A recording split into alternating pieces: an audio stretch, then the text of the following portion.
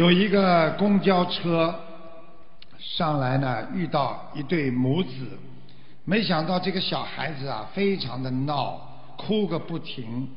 他的妈妈呢，假装呢要吓唬他，他的妈妈就说：“再哭，再哭，再哭，把你卖了。”这一招啊，根本没有奏效，小孩子还是哭个不停。一个哥们儿走到。他们母子两个身边，一本正经的说：“大姐，这孩子怎么卖啊？”没想到孩子马上就不哭了。什么事情都要懂，你要知道什么问题用什么钥匙来开。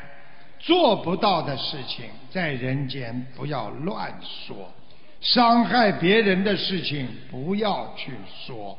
讨厌的事情，对事不对人的说；开心的事情要看场合说；伤心的事事情不要见人就说；别人的事情小心的去说，这才叫知恩图报、懂佛理、知人生的学佛人呐。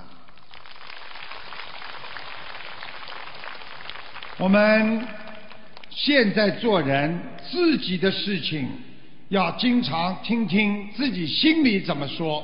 现在的事情只管耕耘去做，不问收获。帮助别人，不要求回报，别人自然会回报于你。没话不要找话去说。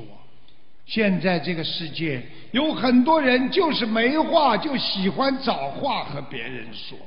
台长说个小笑话：有一位护士，她很喜欢没话找话说。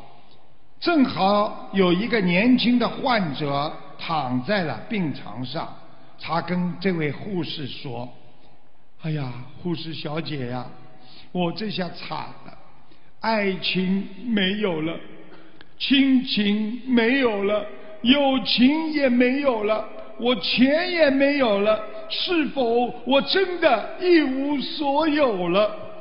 那个护士用包含着爱心的话语回他说：“看你说的，怎么对自己这么没信心嘛？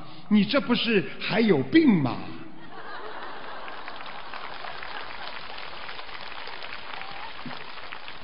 佛家常讲，理解别人就会慈悲，人心本善，因缘会合。在人间，每个人遭遇不同的境界，对别人理解，你会放下。佛法讲，你如果认得过去的你，你一定会原谅现在的你。世事无常，人间沧桑。越理解别人的人，你就会越慈悲；越能懂得别人心的人，你就会在人间一帆风顺呐。